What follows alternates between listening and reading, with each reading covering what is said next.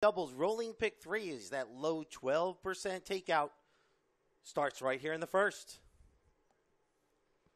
In goes Icon Corona.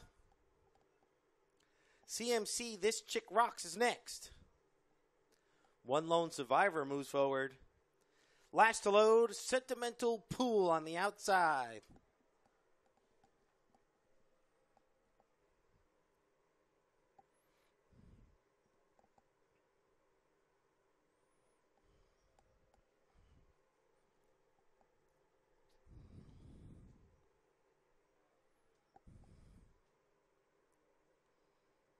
They're all in line.